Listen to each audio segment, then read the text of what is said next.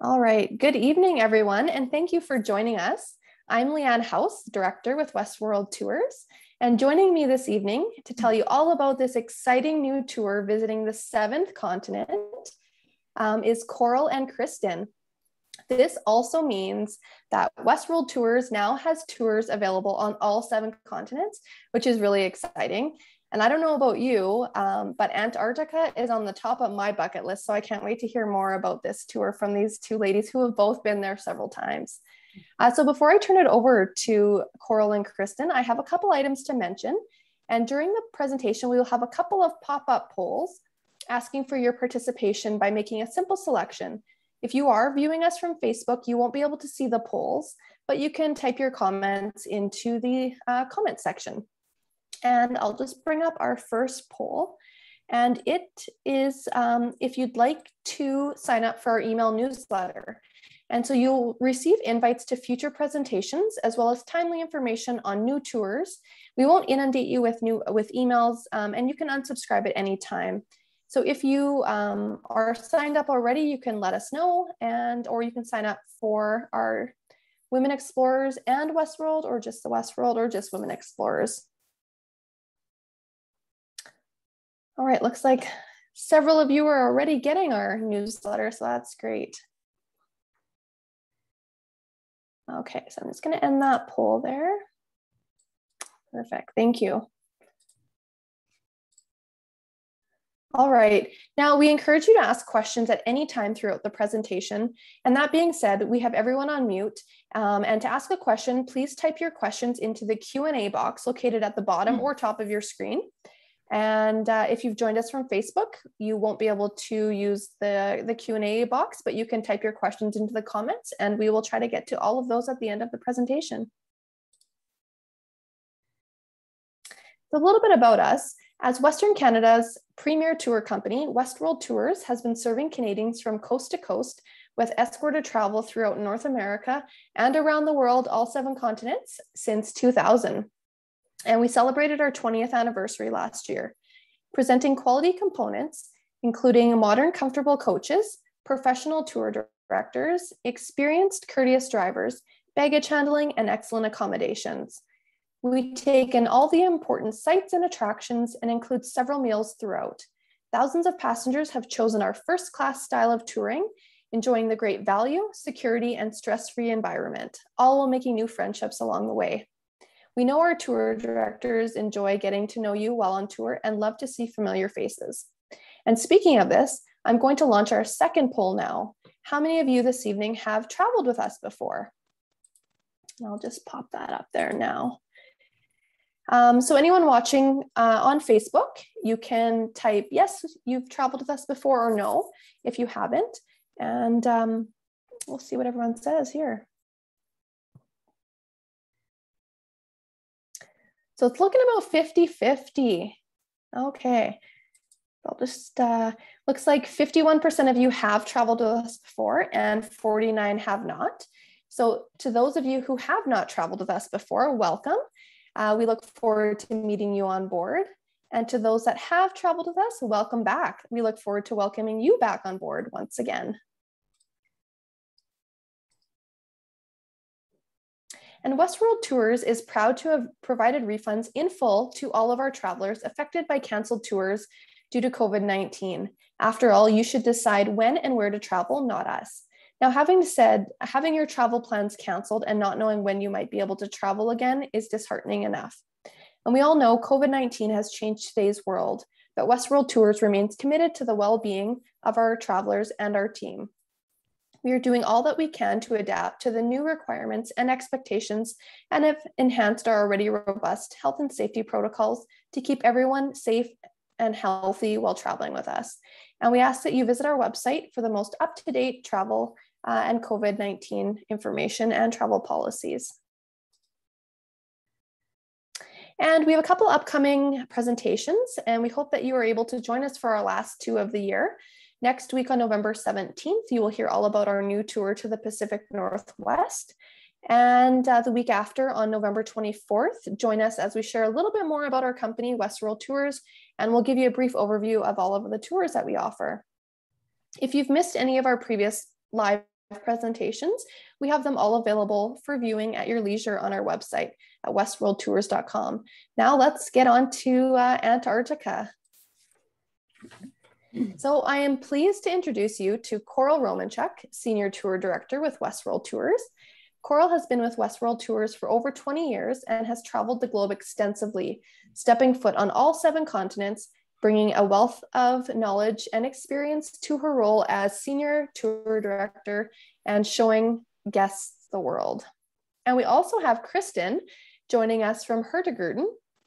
Kristen started her career in the travel industry just over, or over 15 years ago, working as a real life Julie McCoy on Princess Cruises.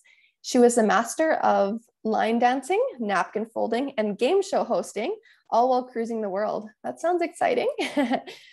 she eventually traded in her sea legs to become an independent travel consultant specializing in cruising. And today she has worked her way up to sales director with Hurtigruten Expeditions, growing partnerships and sharing her love and inspiration for expedition cruising with fellow Canadians. Welcome to both of you. Thank you for joining us tonight. Thank you so much. It's a pleasure to be here.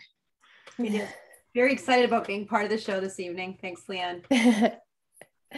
okay, so let's get on with it then. Um, so, our Antarctica and the Falkland Islands with Brazil and Argentina is November 14th to December 6th of 2022. And for many of us, this is the last continent to check off your bucket list. So join Westworld Tours and venture to the Southern Hemisphere on our Antarctica and the Falkland Islands uh, cruise tour. First, get to know Rio de Janeiro, de Janeiro, the famous Brazilian seaside town, during a full city tour. Of course, no visit to Brazil and Argentina is complete without a stop at the world's large or at the largest waterfall in the world, Iguazu Falls, exploring both sides of this magnificent UNESCO World Heritage Site.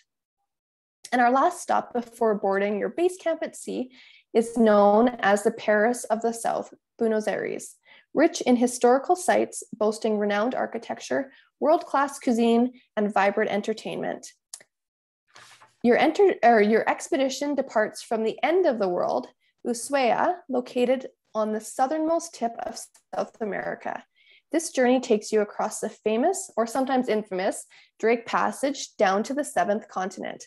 Antarctica landscapes stretch as far as the eye can see, and a gorgeous world sealed by pristine snow and ice. Your days will be filled with landings, hiking, ice cruising, wildlife viewing, and optional excursions. Returning north, saying goodbye to Antarctica, crossing the Drake Passage once again and making your way to the remote Falkland Islands, taking in, the, taking in beauty in its purest form, and then heading home, bringing with you the extraordinary memories of your adventure in Antarctica and South America. And now I will pass it on to Koral.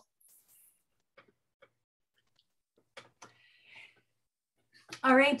Thank you so much, Leanne. Uh, it really is uh, a genuine pleasure to be here with you this evening, everyone. Uh, as Leanne said, uh, we are extremely excited about this uh, tour uh, coming up uh, late in 2022. Uh, this is something uh, new and quite exotic for Westworld Tours. And uh, I was very, very excited to be a part of this presentation because I have been blessed with the opportunity uh, to travel to Antarctica. It's some years ago since I was there, but the memories I have from my experiences on the seventh continent are some of the most profound travel memories that I have in my life. And I still have so many stories that I love sharing uh, about my experiences. Um, very exciting though, we have a fantastic tour planned for you. Uh, and uh, we're going to be visiting South America, of course, on our way down uh, to the seventh continent. Uh, we're going to be spending some time in uh, Brazil to start and then making our way over to Argentina before we do arrive in the southernmost city of Ushuaia.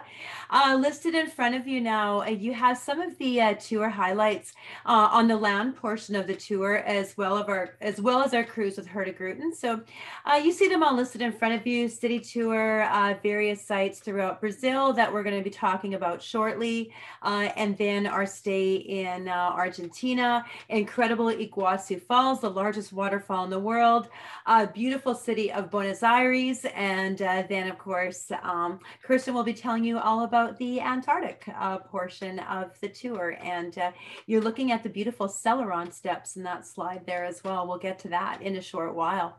Uh, everyone loves a good map, and it's always fun to kind of get a bit of a visual for the routing and for the itinerary on any tour. So we begin our trip by flying down to Rio de Janeiro, and uh, Rio de Janeiro uh, certainly is uh, the largest city by population in uh, the uh, in this in the country, excuse me, of Brazil.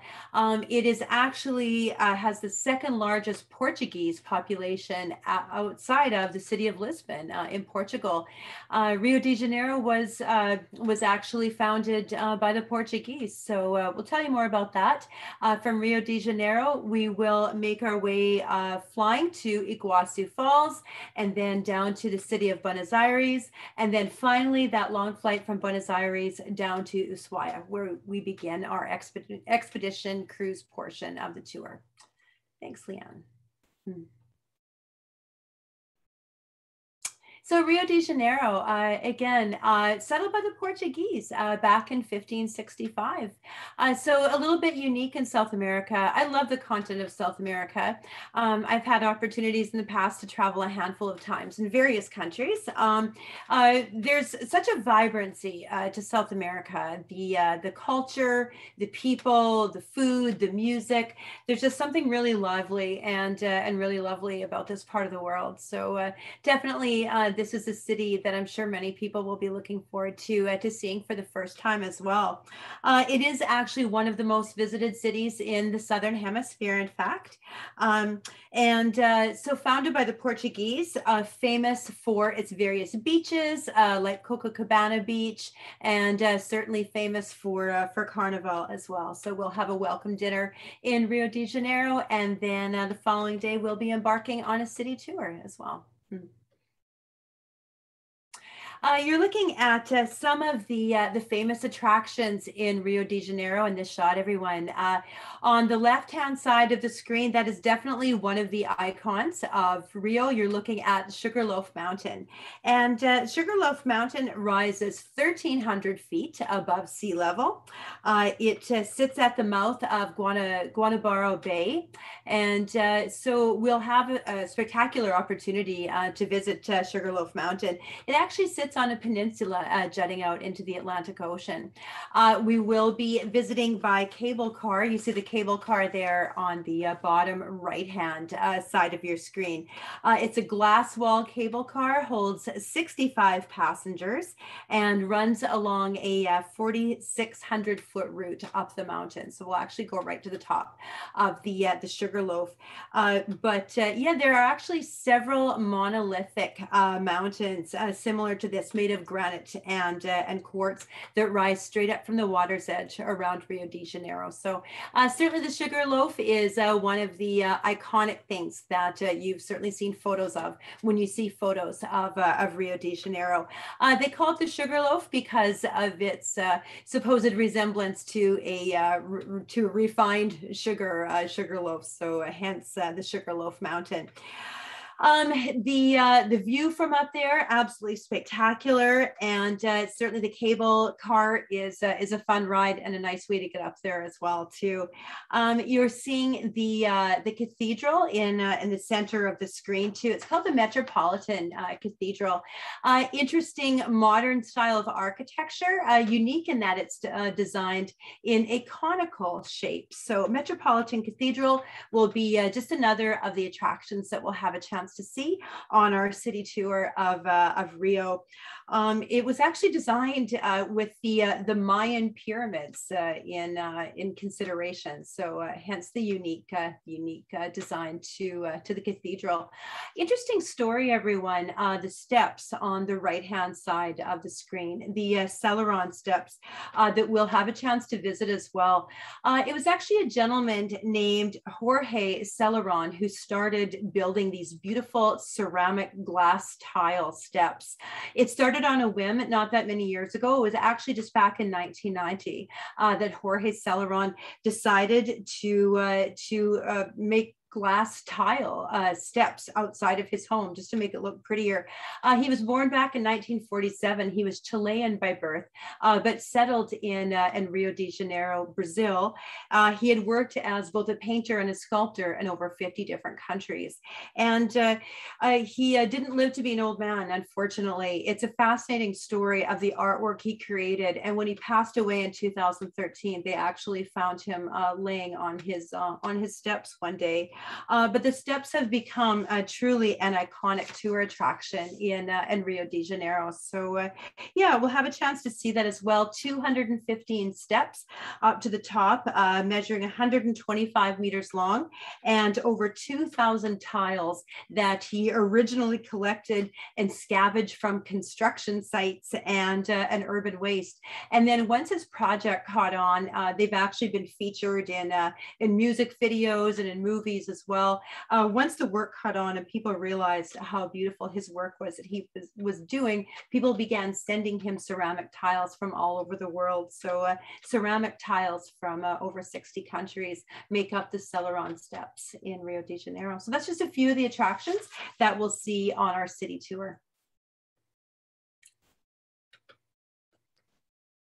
Uh, moving on, uh, certainly another one of the attractions that uh, we associate with Rio de Janeiro, and I think for any of us, when uh, we think about uh, about this country and this city, we can't help but think about Cristo Redentor or Christ the Redeemer, and uh, that is the famous statue that you're seeing on the bottom right-hand corner of your screen of your screen right now. It's an Art Deco statue created of of Jesus Christ.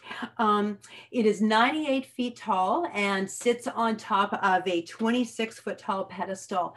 As for the dimensions of Christ the Redeemer, uh, 98 feet, uh, the arms stretch 92 feet across. And uh, it was built back between 1922 and 1931 on Corcovado Mountain. It's actually made of soapstone, uh, soapstone and, uh, and concrete. Uh, interesting stories about the renovations it has gone through as well to lightning rods and such to protect it uh, up there on top of the mountain.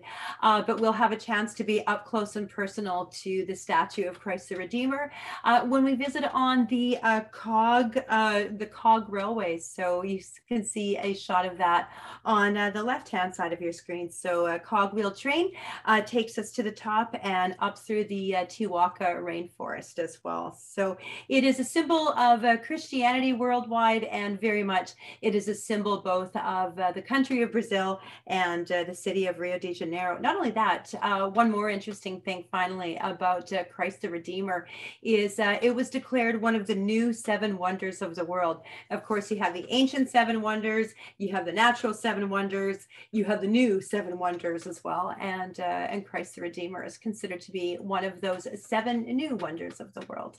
Hmm.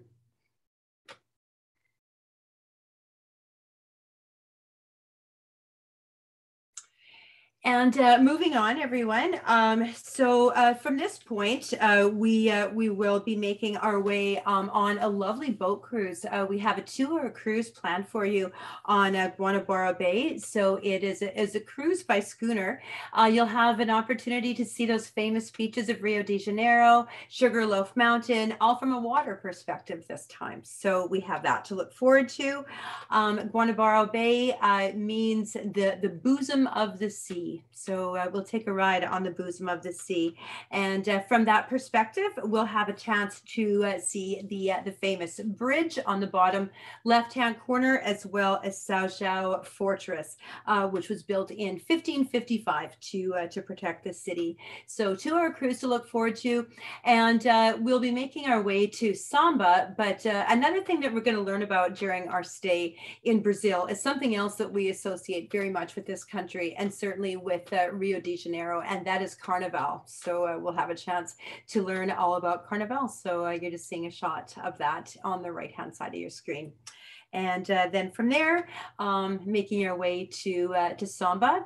And uh, from there, uh, we're going to be visiting what is uh, an incredible uh, natural phenomenon. And this is indeed the largest waterfalls in the world. they are very much visible from both Brazil and Argentina. The majority of the river itself runs through Brazil. the majority of the waterfall is actually on the Argentinian side. But together, the two sides make up the largest waterfall in the world. So this is magnificent Iguazu Falls. So we'll be flying to Iguazu, uh, making our way there, and then having a chance to uh, to tour and uh, and also to really appreciate uh, the magnificent views from the platform, such as you're seeing on the um, on the uh, bottom left hand side of your screen.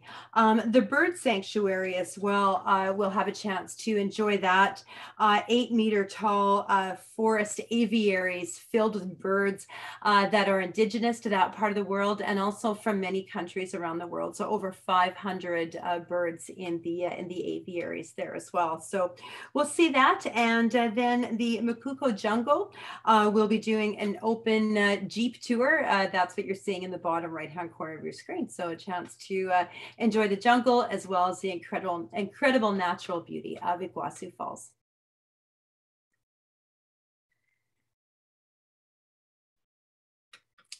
And then uh, just a couple more shots here as well before uh, we move on to Buenos Aires. Uh, just some more shots to uh, to show you some of the perspectives you'll have.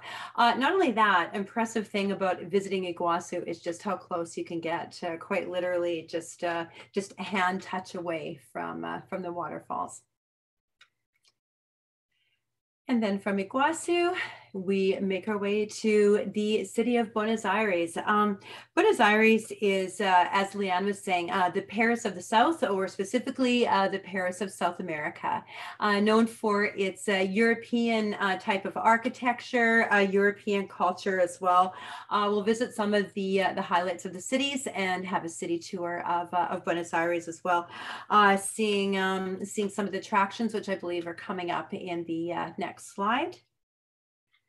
By the way, Buenos Aires means fair winds. So now we're uh, we're back uh, in a Spanish-speaking country, uh, unlike uh, Brazil, primarily Portuguese, of course. Uh, this is very much a Spanish-speaking country uh, down at the bottom of South America, and in Argentina, certainly this is kind of a, a, a, real European feel in in South America.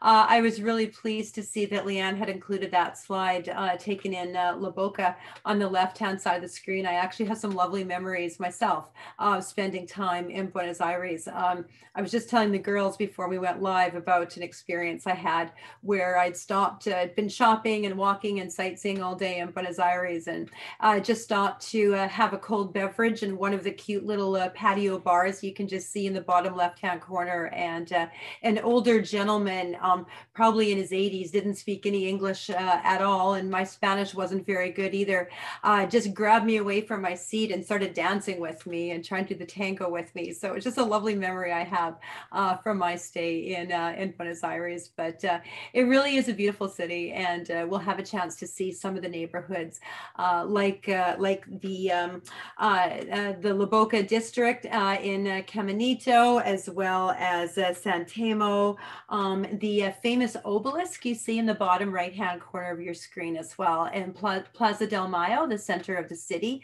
And the top right-hand corner of the screen, uh, this is absolutely incredible. We'll have an opportunity to take you to a tango show in Buenos Aires. And I think of all the live music shows and live dance shows I've ever seen in my life, uh, the show that I saw of the tango in Buenos Aires on my on my last trip, my, my first trip to Buenos Aires uh, some years ago now, was the most enchanting, riveting live dance show I've ever seen. There's something incredible, sen- incredibly sensual about the uh, the tango. It really is a very, very beautiful dance that you can't, you just can't look away. It's uh, it's quite enchanting. So I'm really excited that we'll have a chance to take you to a tango show as well. And then we're not quite finished with the land portion yet. Uh, we'll make our way out uh, to the, uh, the Tigre uh, River. And uh, we're going to have a lovely uh, boat cruise as well in the Parana River Delta. Um, it, the word kind of looks like tiger, T I G R E, uh, the pronunciation tigre, although interestingly enough, uh, the name comes from jaguars that were at one time hunted uh, on the river uh, back in the day. But it's a 14,000 foot, excuse me, 14,000 square foot uh, natural wonder. So uh, you're looking at the Art Museum Tigre in the bottom right hand corner of your screen and the Tigre River Cruise itself. So that is just just a brief little overlook at some of the highlights that we'll enjoy on the land portion of the tour before we make our way to uh, the magical uh, Antarctica continent. And uh, Kristin has so much to tell you about that. Awesome. Thank you so much, Koral. Um, I'm just as excited now about the land portion as well. So I think you put together such a great uh, tour package for everybody. Um, so we take over um, the itinerary. I believe it's on day nine.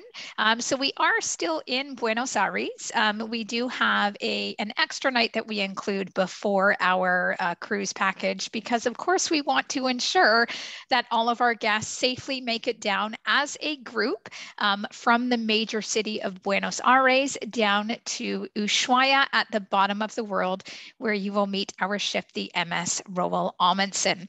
So we actually have a charter flight um, with uh, our Hurtigruten guests, and so everybody will be transported together um, to the airport and uh, flown down to Ushuaia, where we will, of course, transfer you to the ship so that everybody boards together. And part of the reason we do this is of course because you know you might be familiar with other cruise experiences where perhaps maybe if you had some sort of flight delay or issue, um, you know, maybe you missed catching a ship in, um, you know, Miami, but perhaps you can actually hop on a flight and catch it at another port, you know, flying into Nassau or something like that.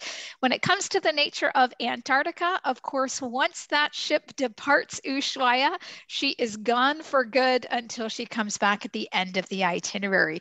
Um, so that's why we make sure we charter our guests all together on the same flights um, so that everybody arrives and disembarks together um, to make sure that all of our guests have the opportunity to enjoy this amazing destination um, and voyage down to Antarctica. Okay, so we're going to move on. Um, you know, now that we've boarded our ship, we do have a couple days where we, you know, can get settled and comfortable. And um, yes, these are the days where we will be crossing, um, as Leanne said, the infamous Drake Passage.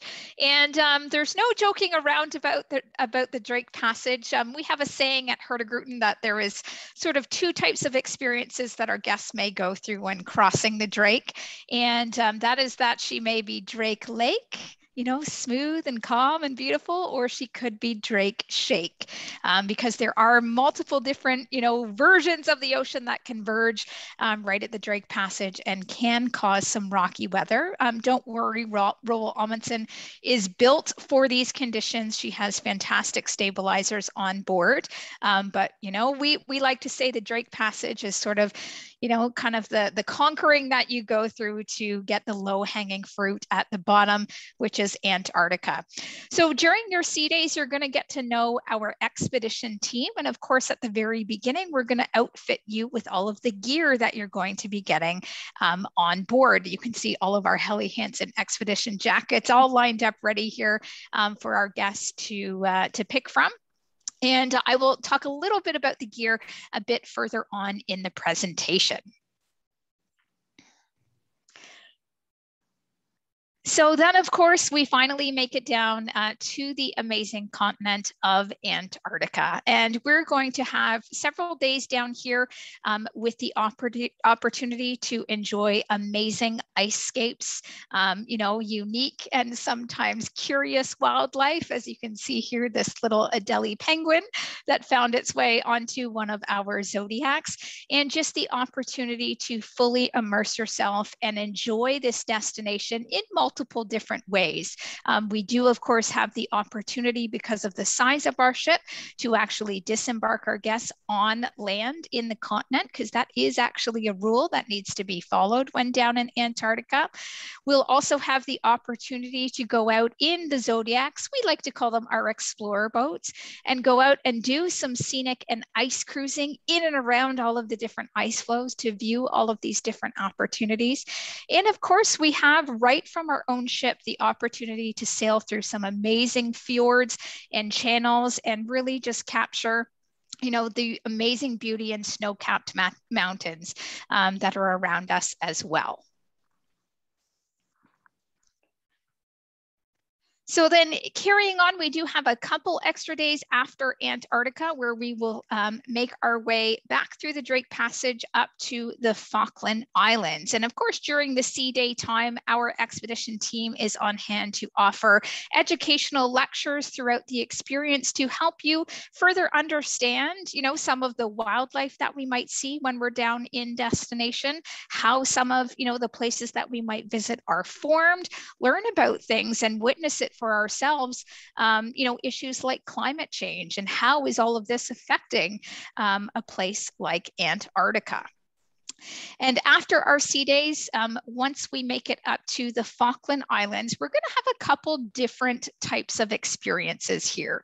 Um, so we will visit, this will be the only sort of city that we will be accessing um, during the expedition part of the cruise. So we will have the opportunity to see Port Stanley, um, which is the main um, city center for the Falkland Islands.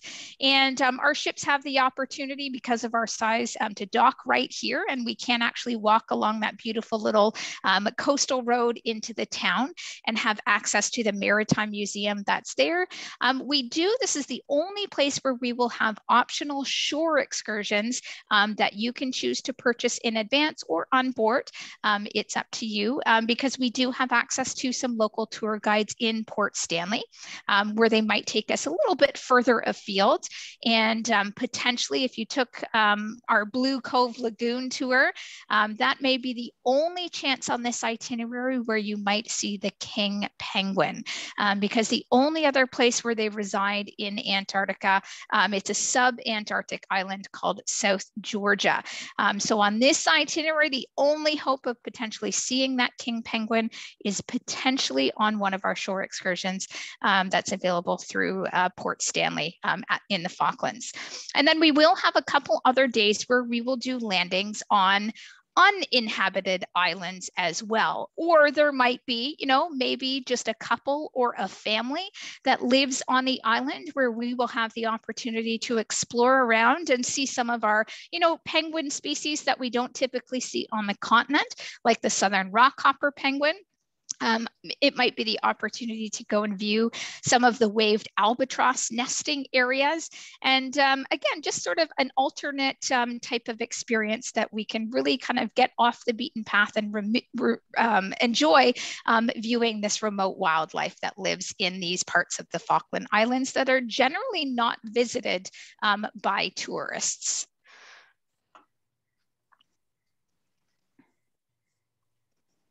And then after the Falkland Islands, we just have one more day at sea. Um, so it's kind of a nice debrief and sort of just a nice way to sort of recap, um, you know, what we've been experiencing and what we've seen. And our photographer that's on board, they like to put together a little slideshow for our guests and show it at the end so you can see you know, all of the amazing places that we had the opportunity um, to view throughout our expedition. Uh, before we finish back off in Ushuaia, and um, again, as I mentioned at the beginning, everybody disembarks together, and then we fly everybody back um, to the main city of Buenos Aires.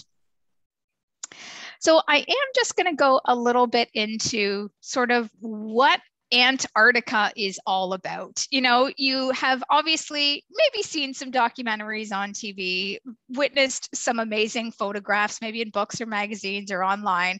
And um, the funny thing is, I really don't think sometimes photos do this destination justice. It is, as Koral said, an absolutely magical, magical place to go. Um, and it is also known as being the coldest, windiest, highest, driest continent on Earth.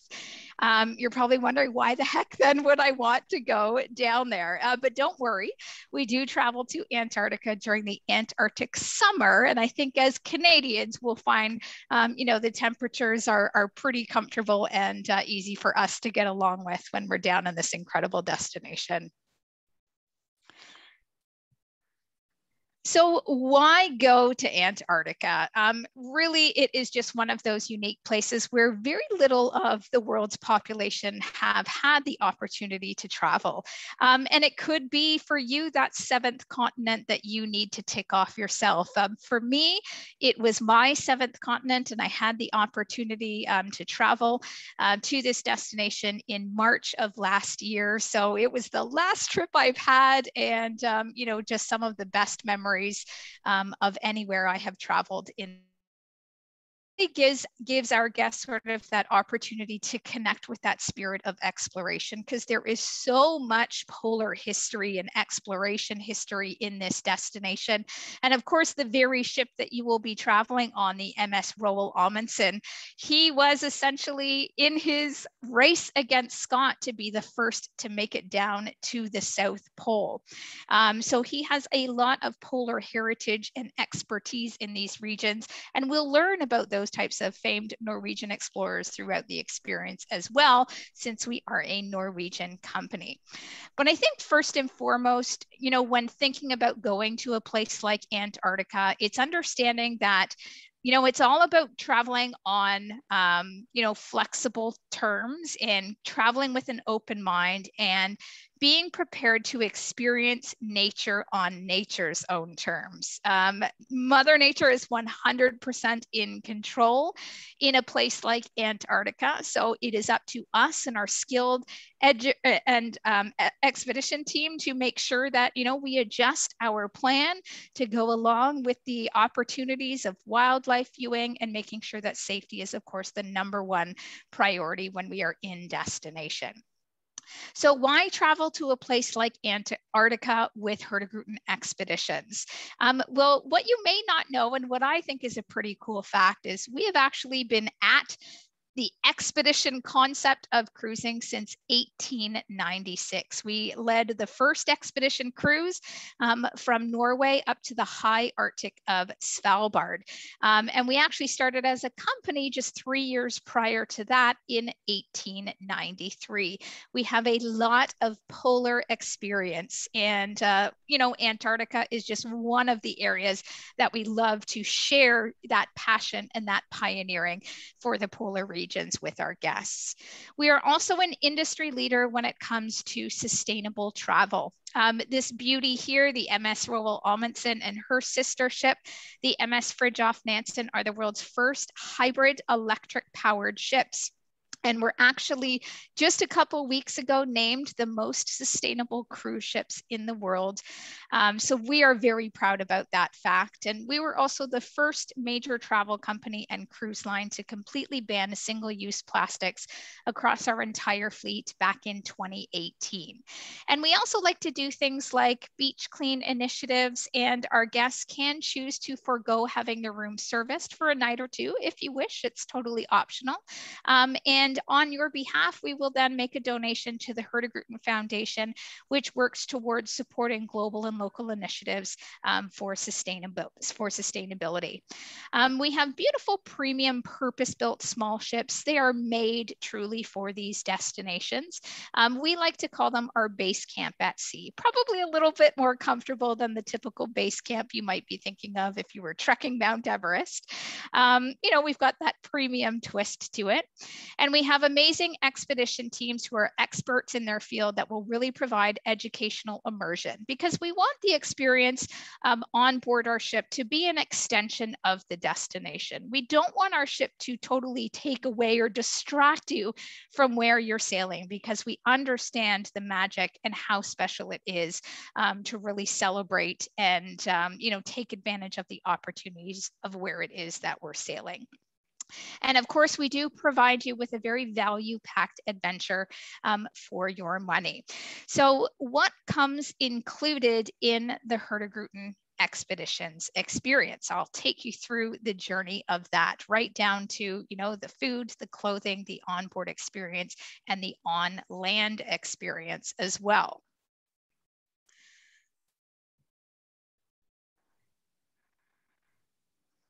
So at the heart of the whole expedition um, is our expedition team. They are your hosts and guides, both on board our ship during our landing activities and during our ice and scenic cruising activities in our explorer boats as well. We have over 350 expedition team members from around the world, including some Canadians as well. And they're educated science professionals in things like geology, ornithology, which is the study of birds, marine biology, and they all bring a different skill set and knowledge to the table um, to help sort of tie destination themes to um, their knowledge and um, really help our guests fully understand um, where it is that we're traveling from all different angles. And of course, they come highly trained in polar survival. Um, we are active members of the International Association of Antarctic Tour Operators, which you'll find a little bit more about um, further in the presentation. And um, they actually have to complete, you know, testing with IATO before they can embark on a season in Antarctica, as well as do testing through Hurtigruten expeditions and renew their skills um, from a safety standpoint to make sure that we are highly trained and prepared and ready for a full Antarctic season. Now, in terms of culinary, don't worry, I promise you will never go hungry on a Hurtigruten expedition. Um, but we do like to say that expedition takes priority over meal times. So it is possible that day to day your meal times may shift because, of course, we always want to make sure we're taking advantage of the weather conditions while we have them. So that could potentially mean, you know, maybe shifting breakfast a couple hours later one day because we want to ensure we can get everybody out in the morning um, to take advantage while Mother Nature is on our side. Um, so all meals are included as well as an early riser and afternoon treat. Um, we do have coffee, tea,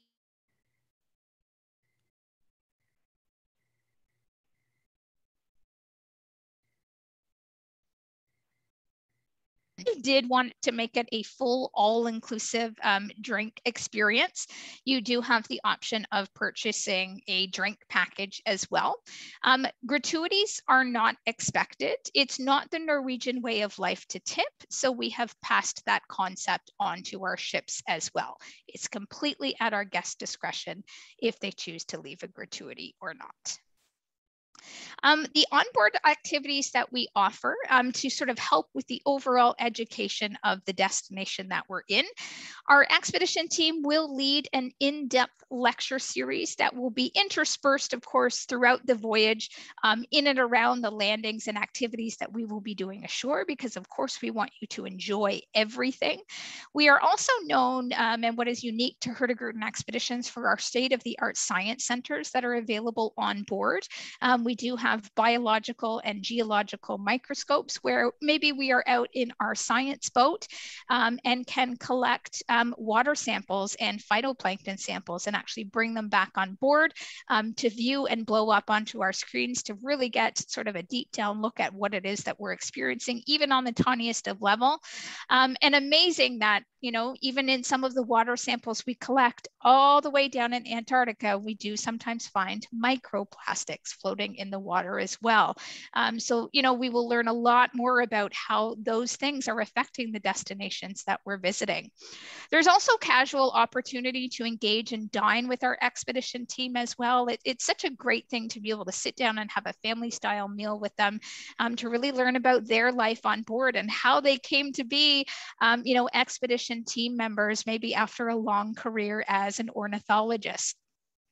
We have a professional photographer on board our expedition ship, and they're there to offer um, introductory photo lectures, as we do have a lot of hobbyist and professional photographers like to who like to travel with us to uh, the amazing destinations we have on offer. And they also, of course, as you heard me mention, um, take photos and videos of the entire voyage while you are on board and compile um, all of them into a nice slideshow at the end of the expedition. We do also provide provide our guests with an expedition logbook that is emailed to everybody about a month after um, the expedition has been experienced. And that includes all of the different wildlife sightings and bird sightings that we have seen. And we also include a selection of the photographers um, sort of highlight photos from your destination as well that you can save um, and download for yourself, maybe for future printing. We do have access to Wi-Fi on board, just keeping in mind, you know, sometimes we are quite remote, so it may be a little spotty at times. Um, but believe me, when you are down in an amazing destination like Antarctica, um, there's probably very little screen time that you will be worrying about um, because there is just so much to view um, around you and, uh, you know, when we are ashore as well. And um, one of the highlights um, during our, our science program is participating in our citizen science activities. So we are partnered with different associations around the world where we essentially aid in the collection of data to help further their research because not every um, association has access to funding to be able to have their own ship down in a place like Antarctica for an entire summer season. Um, so we can work together because we are down there for the entire season and can help with some of the wildlife viewing um, and data collection for them.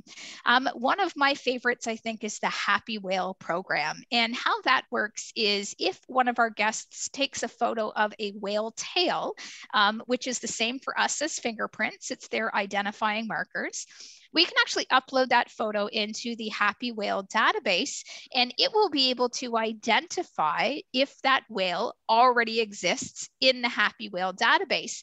And if it does, it will produce all of this information for us to learn about this whale that we've just seen. Um, it will, of course, tell us, you know, the gender of the whale, how old it approximately is, what does its migratory pattern look like, and does it tend to travel with a bigger or a smaller pod?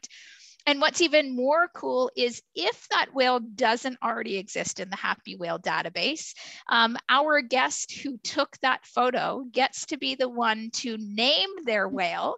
And that whale will then be entered officially into the Happy Whale database and will forever live on um, with the name that our guest had provided it. So there's a lot of really cool, neat ways through science um, that we can interact and fully immerse in this amazing place of Antarctica.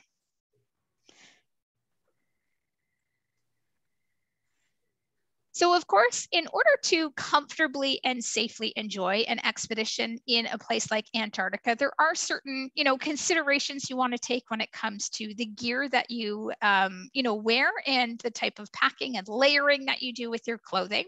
Now, we do help with some of that. Um, everybody will receive the Hurtigruten Expedition jacket. And this is something that we will size for you on board. Um, it is a wind water resistant layer and sort of the secret for packing for expedition is layering things up because as you become more and less active throughout the voyage, you want to be able to you know, add a layer quickly or quickly take one off, um, you know, as you see fit. Because although it is cold in the destination that we visit, you'd be surprised, you know, how much you can actually heat up, um, you know, with the sun beating down on you in, in Antarctica. Um, and also we do provide our guests with the Hurtigruten muck boots. Now, this is a requirement when in destination specifically for biosecurity, which I'll talk a little bit about um, further on. But these are very thick rubber treaded. Um, they've got a neoprene lining to make sure that our guest feet stay warm, stay dry, and it's perfect and totally built and meant for the polar regions. So the boots are on loan from us. You will have a pair for the entire voyage that um, are your own. The jacket will also be a souvenir you can take home with you at the end of the trip, along with um, our Hurtigruten reusable water bottle. And our guests can also have the use of our trekking poles as well. Um, so our expedition team will bring that gear ashore. You can just grab a pair of our trekking poles, use them at the landing site, and then our expedition team will bring all of the gear back to the ship at the end of the expedition. So people are always quite curious to know, um, you know, the process of getting in and out of uh, the Zodiac or the Explorer boat. And the nice thing is um, the way the hull of the Hurtigruten ships are designed is um, the side of the ship actually folds out flat so that it is a water level platform um, that we can just pull our Explorer boats right up to. And of course, we always have helping hands on the platform and in the boat to make sure that it is a smooth and seamless process to get our guests in and out. Um, this is one of those situations where slow and steady wins the race. You know, we're not in a rush to make this happen.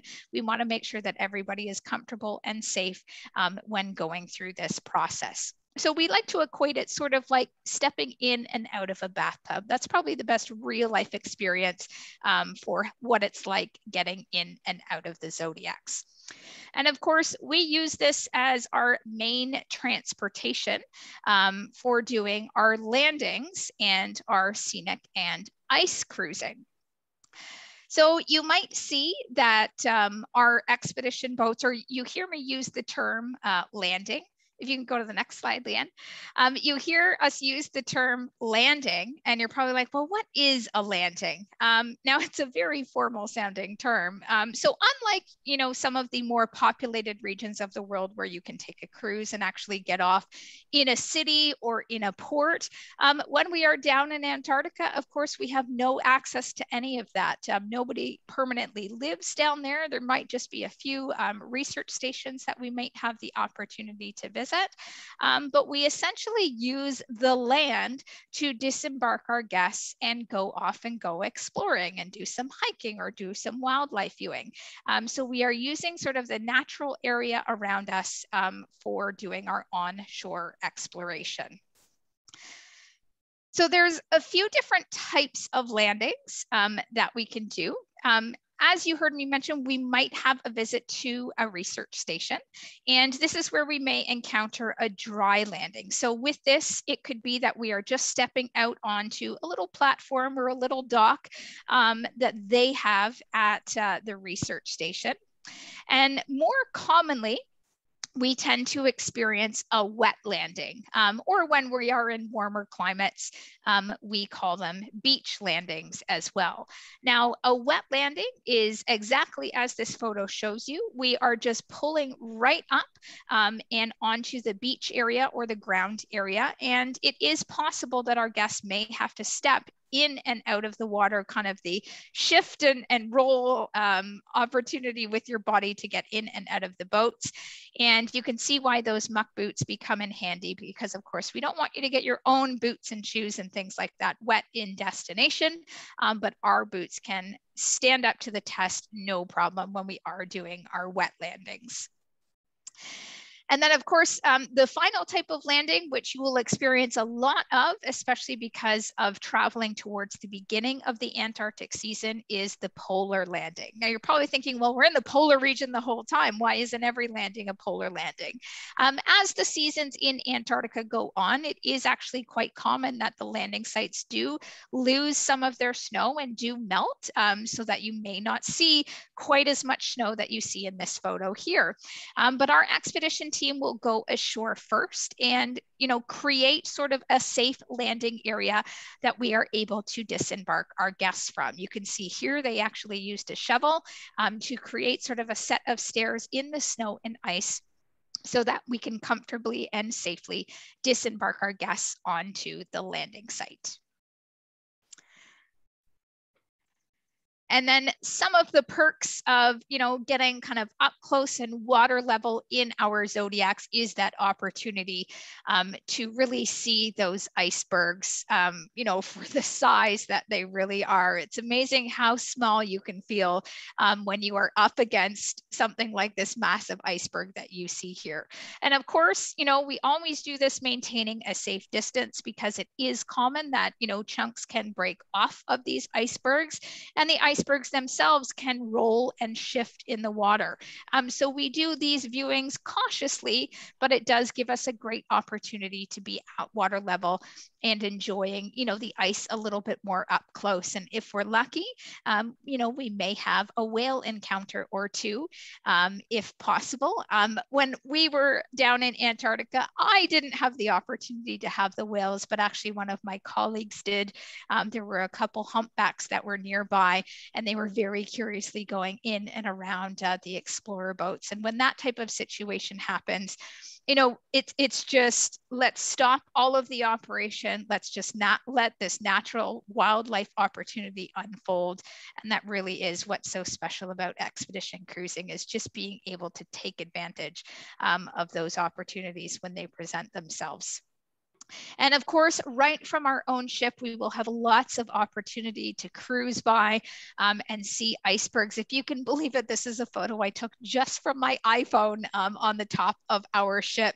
Um, we were sailing through this beautiful channel called the Gullet, and it was just massive iceberg after massive iceberg. And, um, you know, because we had such great weather that day, our hotel manager decided, let's just throw a big barbecue up on the top deck, really just to sort of commemorate this amazing experience that we were witnessing on this beautiful blue sky day. And then, of course, we love to sort of find fun and different ways to commemorate your experience down in Antarctica. Now, this is optional. You don't have to do this. Um, but if you feel adventurous enough, um, and assuming, of course, the conditions are safe during the expedition, we will offer our guests the opportunity to try out the polar plunge. And uh, don't worry, we do give you the certificate to prove that it happened because I feel like if without that certificate, nobody would have believed me that I actually, you know, head fully under the water, um, decided to go for the uh, polar swim and the water was about four degrees Celsius. The air temperature was three degrees um, when we were there. But um, my gosh, it's, you know, it's a certificate I proudly hang on my wall because even I can't believe that I did it. Um, but it is something that it, you know, if you should feel up to it, um, you know, we will try to give our guests that opportunity as well. Now we do have some optional activities um, for our guests. Now these are the only things that really have an extra cost in destination. And reason being is, um, you know, we can only take so many people out at one time to do these activities. Um, we do have certain regulations that we need to follow from IATO um, with the number of people that we take out to do these activities. Um, but also too, you know, we don't have 500 kayaks for everybody to go out at one time. So we do it with, um, you know, small groups and with our kayak guides um, to really give our guests sort of an, an, alternate option of something that they can experience in destination. Um, so there's three activities that we offer as an optional. Um, the first one is kayaking. And this is, again, a great opportunity where, you know, should water conditions and, and ice conditions permit, it's another great, great way to sort of get at water level and, and get a little bit more close and intimate with the surrounding ice. And if we're lucky, again, potentially a whale or maybe some swimming penguins. Um, we do also offer snowshoeing. And um, we do need a good base of snow to do snowshoeing and uh, the next activity, which is camping. Um, so if you do have an interest in either one of these activities, um, we actually need a good base of snow to do it and traveling towards the beginning of the season is the perfect time for us to be able to attempt these activities. Um, so your timing is perfect for when you're going to be going down. And um, yes, believe it or not, you could even experience overnight camping in the continent of Antarctica. Um, it's quite a neat experience where we, we are allowed to take 30 people out for overnight camping and we bring a tent for two expedition team members as well. And um, our captain will actually bring our ship into the landing area. Um, our guests will disembark with the camping gear and then the ship will disappear for the evening so that our group will really just be alone with maybe some penguins if they're nearby um, to enjoy the Antarctic, uh, you know, summer under the, the, the sunsets and um, kind of have that full on adventure. So of course these three activities um, they are only bookable on board. And the reason being of course we need good weather sea and ice conditions in order to be able to operate them. So we can never guarantee that we can offer it you know, so many times throughout the cruise. And we also want to give everybody equal opportunity to put their name in to have the opportunity to participate, um, you know, rather than if you book early and it sells out before you even had the chance um, to try. Um, so those experiences we leave as a book on board option only. Now, you've heard me mention IATO, the International Association of Antarctic Tour Operators, and they are essentially the regulatory party that we are members of as an operator. And we all work together to set the rules on how to properly and safely operate in Antarctica because, of course, the Antarctic Treaty that was signed in 1959 designated the continent of Antarctica as a place for peace and science.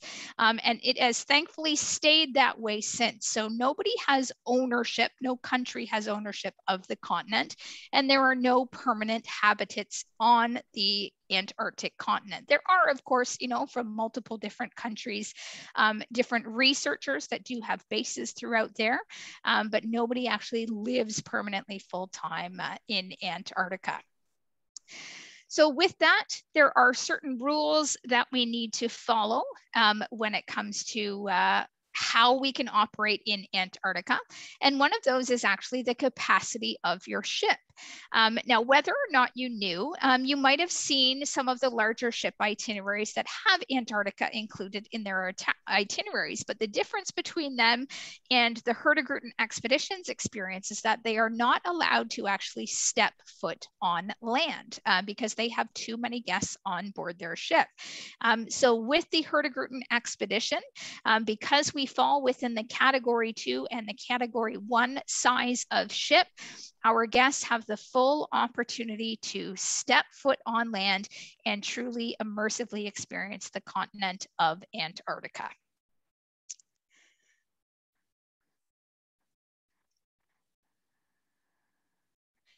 And another thing that we need to be very aware of when traveling in Antarctica is biosecurity, because of course we do not want um, to introduce any foreign contaminants to the continent.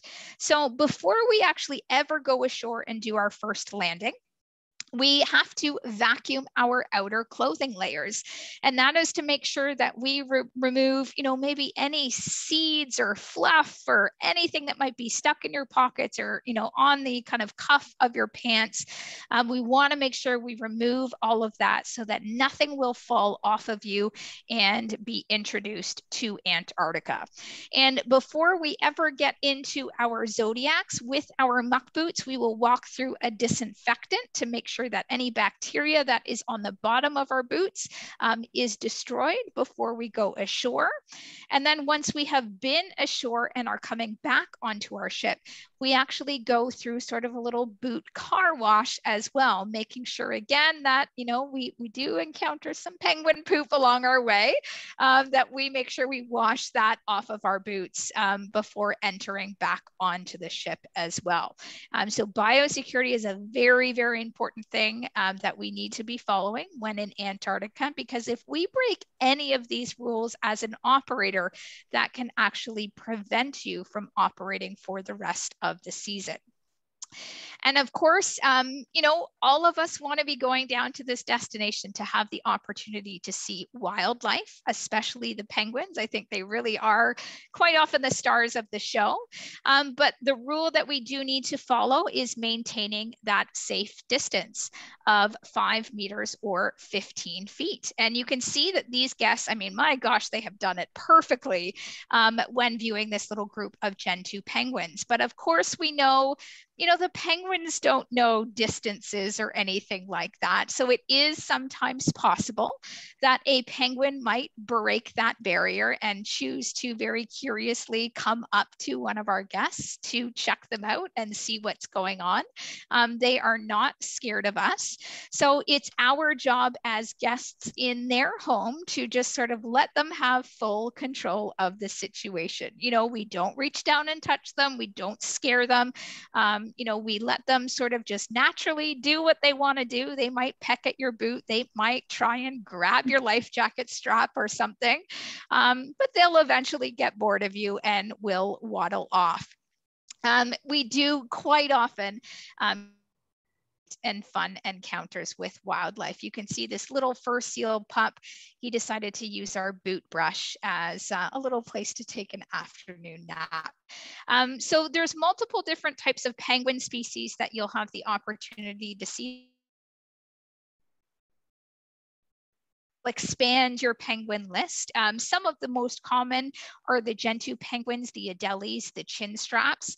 And of course, when it comes to the whales that we encounter, there are six or seven different types um, that we commonly see down in, in, Antarctica. The humpbacks, especially killer whales, um, and we also have fin whales, right whales, and of course, multiple different types of seals as well. Now we're traveling at the very beginning of the season. So your average temperatures kind of are between that minus nine to minus six degrees Celsius, which again, I think as Canadians, we can handle that no problem.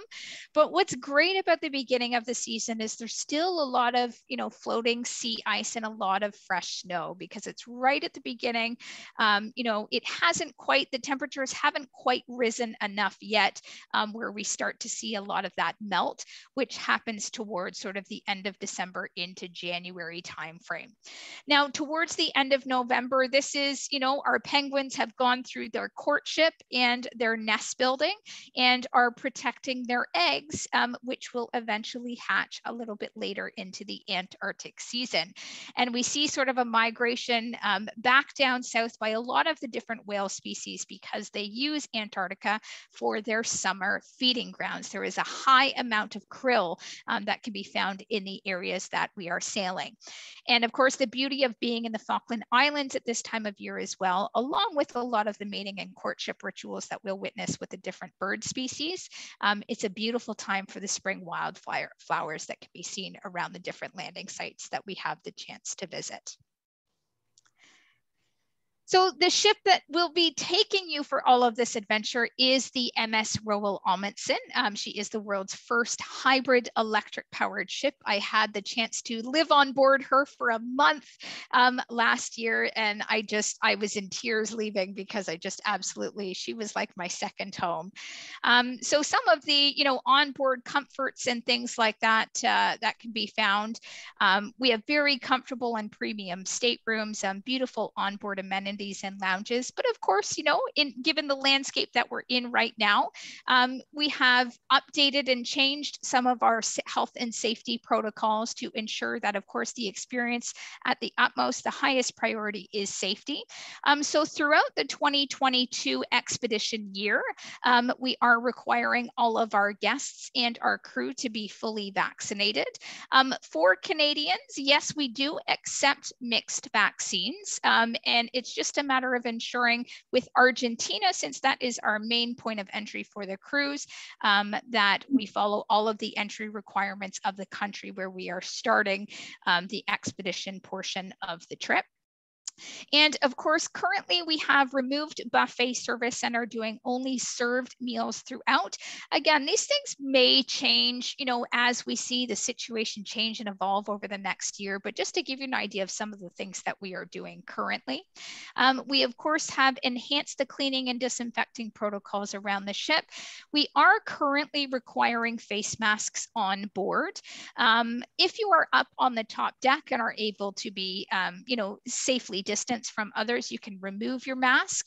Um, so far, we are requiring face masks in the Zodiac, but when we are ashore doing nature landings and we aren't, um, you know, visiting any research centers, there is the opportunity to take off the face mask there as well. And of course, we have full access to a medical team on board 24 7 and go through continuous monitoring of all of our crew and guests through things like temperature checks. And we do have PCR testing available on board um, should it be required if anybody shows any symptoms and that type of thing on board. So again, something like health and safety, again, as things continually evolve, um, we will make sure that we are always updating and providing um, Westworld tours with the most up-to-date information when it comes to health and safety um, as we get closer to your expedition. Um, we have a beautiful array of different types of staterooms and suites. And you can see, um, you know, we are very Scandinavian in um, our look and feel on board, warm woolen blankets, beautiful warm toned woods.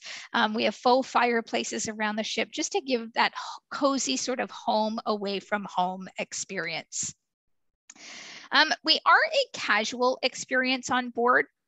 So although we are premium in nature, um, there's no dress code or anything like that um, on board. So we fully encourage, you know, comfort. And if you want to go to dinner in jeans and a sweater, that is completely okay with us.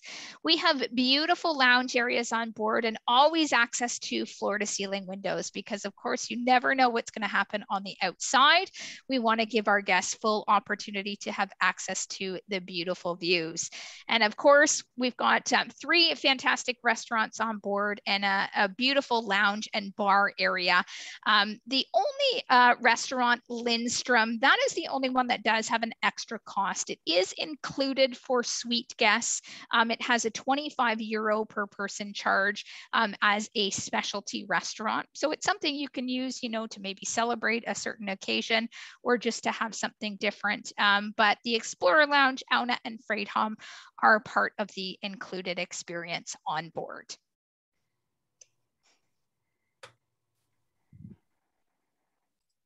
Perfect. Thank you so much, Kristin, for sharing that. That's really uh, exciting, that expedition.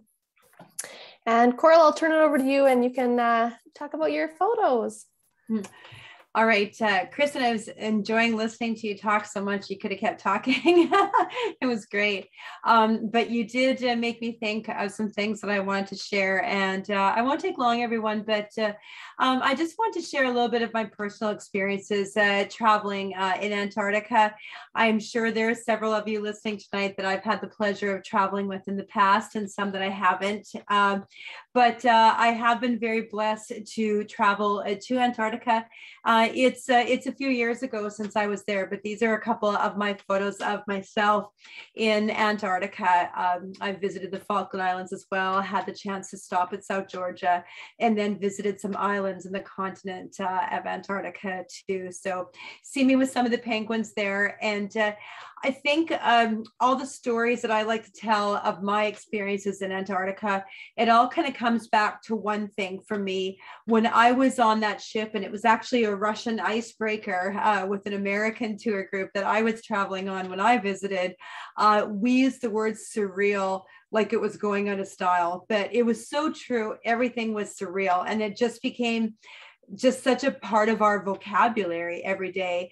Uh, but it was surreal, but it also was an incredibly unique experience. And that I don't think I've ever had another time in my life where it just felt like time completely stopped. And it really did. Uh, from the time we left Ushuaia until the time we returned, it was almost like the rest of the world didn't exist. And uh, it really, it really was. It was, it was as though time stopped.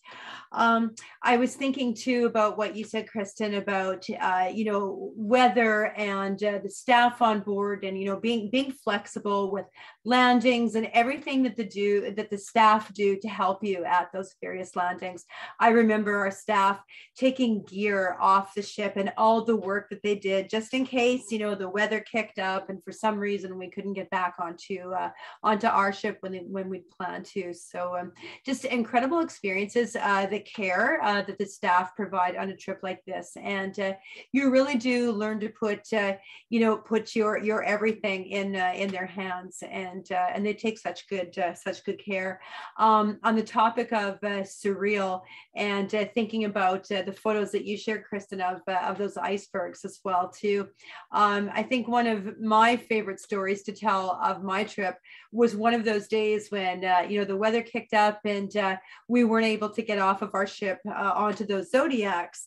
Um, it actually looked like quite a nice day. The sun was even shining, but we just weren't able to uh, to make land. And uh, it had just so happened that the geologist on board the ship I was with uh, was also a Tai Chi instructor. So there we were cruising through Antarctica, excuse me, through Antarctica with gigantic tabular icebergs all around us doing Tai Chi on the top deck of the ship. And that will always live in my memory as, uh, as one of the most surreal, magical experiences of my life. And uh, certainly another one of the magical experiences for me was indeed uh, the wildlife. And uh, I agree with what you said about the penguins being the stars. Um, I was fortunate to see a handful of different uh, penguin species. I was actually lucky uh, to see the the wonderful king penguins too, whom I thought really like to sing. They're not they're not they're not songbirds, that's for sure, but, but they're really enthusiastic and beautiful. Um, I love the little adelies uh, and the chin strap. I, I think the uh, the gentoos were one of my favorites, and uh, every penguin species is a little bit unique from the next. Uh, the fur seals, I saw Weddell seals, even had incredible experience with a leopard seal, the predator uh, of Antarctica one day too. And uh, I remember a day when a whale actually came up right underneath our, uh, our ship. And there were four or five of us lucky enough to be standing on deck as that whale came up. And we just ran screaming like little four-year-old girls. We were so excited, just running to the other end of the ship, uh, trying to see this whale again. So uh, the wildlife is, uh, I know that maybe goes without without saying, but it's such a magical part of uh, anyone's trip to uh, to Antarctica is the wildlife. I had a crazy experience in the Falkland Islands in the town of Stanley of running into some former Westworld passengers, some friends, uh, some good friends from Moose Jaw, Saskatchewan, and actually just out of nowhere ran into them in the Falkland Islands. So uh, that was uh, a crazy experience and a lovely memory as well. Um, I did do the polar plunge as well. And I remember also that we were told full immersion, your hair had better be wet when you come out of the water. so, uh, so yeah, I did the polar plunge as well. And I agree with you, Kristin. I'm very proud of that certificate. It still hangs on my wall today too. So you really intrigued me with uh, the camping. Um, I didn't get to go camping. I want to go camping now uh, in Antarctica. I think that would be uh, a lot of fun. And uh, what I did do was I made a snow angel. I remember thinking, um, you know, if I'm in Antarctica anyways, I better make a snow angel while I'm here. So, uh, so I did that. But uh, thank you for letting me share a little bit of that. And uh, everyone who's listening to us tonight and sharing our presentation, I can't tell you enough what an incredible experience that is. there's few other words that can really describe it properly other than to say uh, it is surreal and it truly is a one of a lifetime experience. And most definitely, it is a magical experience, more than I can say in words. So, uh, thank you for the time. And uh, it's an absolute pleasure to be a part of the presentation tonight. Hmm. Thank you, Koral, and thank you, Kristin. Uh, now you've really got me uh, itching to go. So, um, anyway, I just want to thank everyone else for joining us this evening. And uh, again, both of you for joining us and sharing this incredible once in a lifetime experience uh, with everyone tonight. And uh, we look forward to the tour going uh, in the fall of next year. Um, so now we will answer some of the questions here. Oh, now I'm getting, oh, sorry, I'm getting carried away here. There we go. Okay. So we, I'm gonna have a look here and see if we have any questions.